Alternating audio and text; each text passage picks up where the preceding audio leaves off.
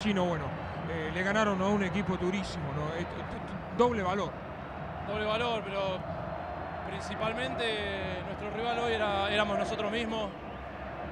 Empezamos con un partido cuesta arriba, complicado porque no encontrábamos el juego y bueno, el primer gol por ahí nos transmitió un poquito de tranquilidad y me parece que terminamos haciendo un, un muy buen partido. En el primer tiempo no la pasaron bien, sacaste varias pelotas.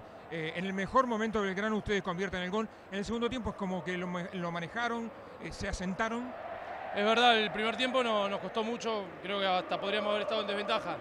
Pero en el segundo tiempo me parece que justificamos la victoria. Eh, ¿Qué le decís a la gente? Pasaste una semana complicada, los carteles, el ambiente, hoy no lo recibieron bien. Sí, lo que dije durante la semana, nuestra mejor manera es poder hablar adentro del campo, a veces las cosas no salen bien.